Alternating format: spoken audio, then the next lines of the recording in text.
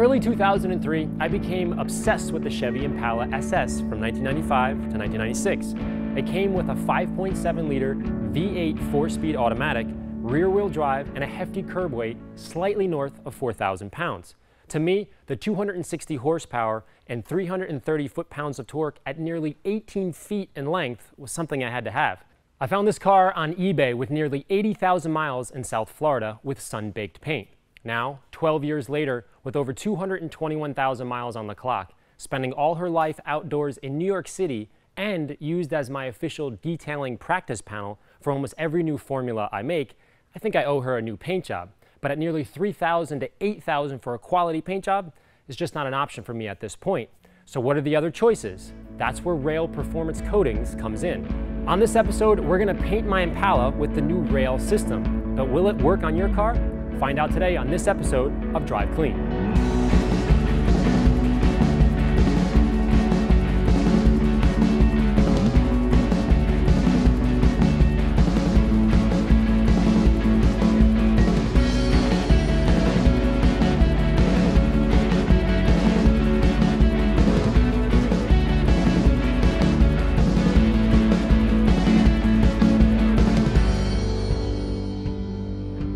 Certified Raail uh, installer. And before we get into all the steps and everything that Mark's doing back there, give me a little information about where this sits on the spectrum of, let's say, plasti dip, coatings, and then maybe a $10,000 crazy paint job. Where, where does this fit in? Yeah, so I would say I would say the middle of the road. I would say that Raail is a the high level performance coating uh, in the rubberized world or the industry.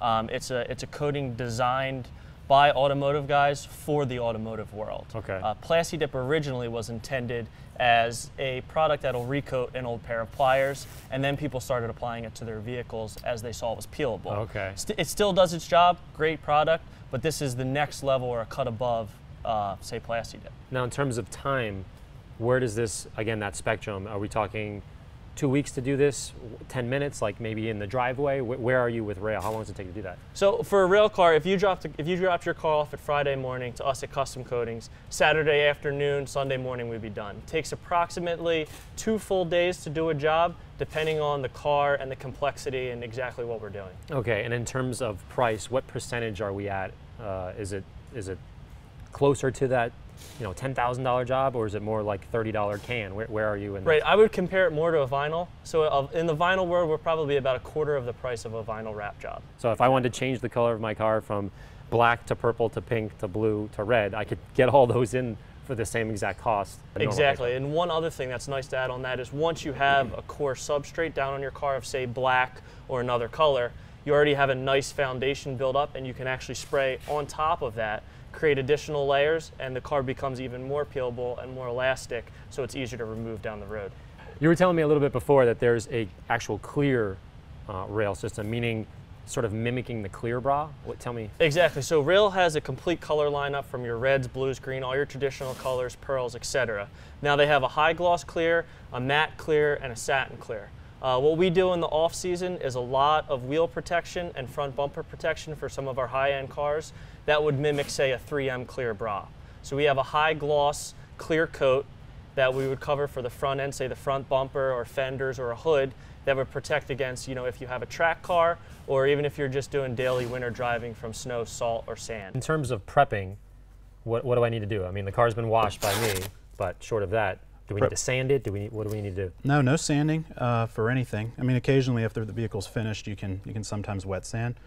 Uh, but no actual sanding on the vehicle body itself. Um, prep work is typically you want to use some kind of like a dawn And degreaser. are we going to use any alcohol or, or uh, yeah. alcohol? Once we're finished taping off all the uh, areas we don't want to paint, we'll, we'll, we'll hit it with a denatured alcohol wipe and be ready to spray. All right. So what about this thing here? This has been gross for many, many years since I've owned it. See this little plastic piece? We're going to paint right over it. You can paint this as well. Yep. So you got chrome, plastic.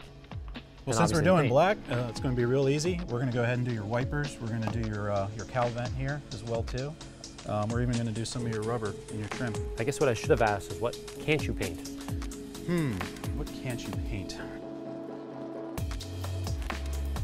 Let me get something off my chest, and before I get a thousand YouTube comments, I have to be totally honest. When I first heard about the Raail liquid vinyl wraps, I thought it was similar to traditional Plasti Dip, where you can apply it basically anywhere your garage, driveway, workshop, whatever.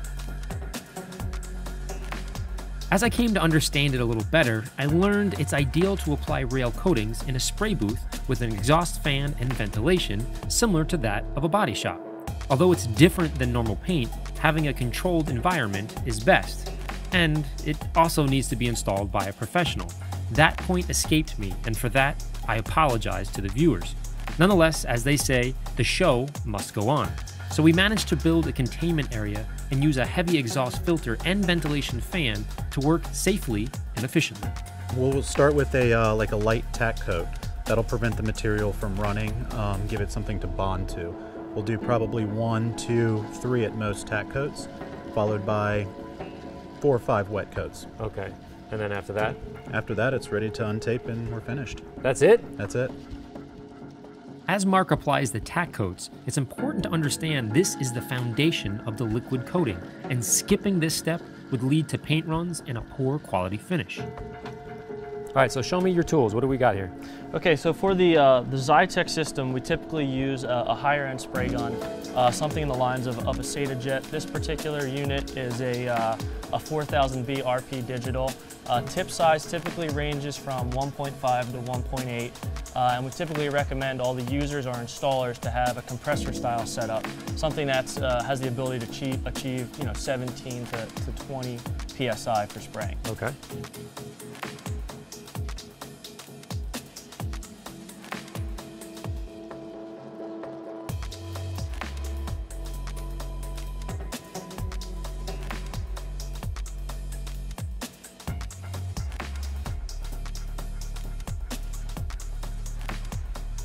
Right now we have probably about three to four more coats left. Uh, we have about a gallon and a half of product on the car right now.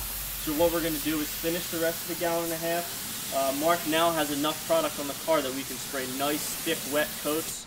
Basically, if you spray uh, any type of dry coat or coats that have little pinholes or atomization, it won't dry completely smooth. So Mark's going to get the whole car fully wet, uh, and when it dries and self-levels, it'll look exactly like vinyl. So we're basically about half done. Correct. Yep.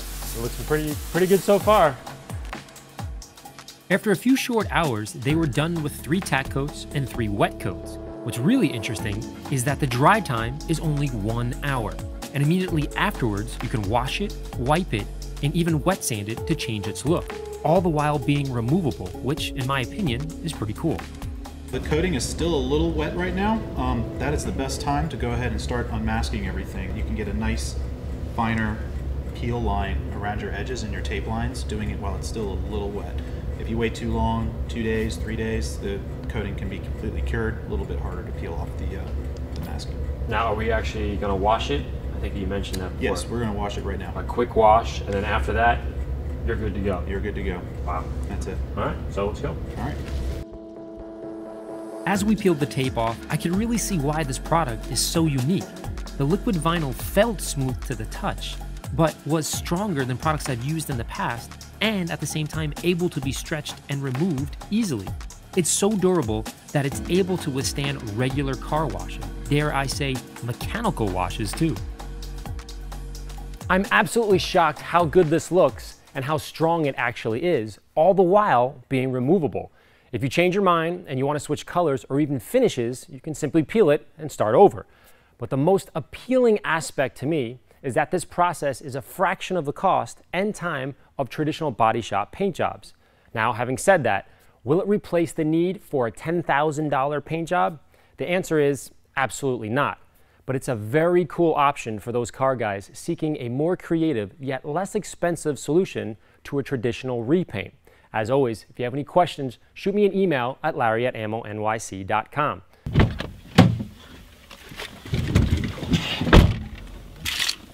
How am I supposed to drive this? Hey, someone watching me? No. Yep. Can't see me going anywhere. You know what?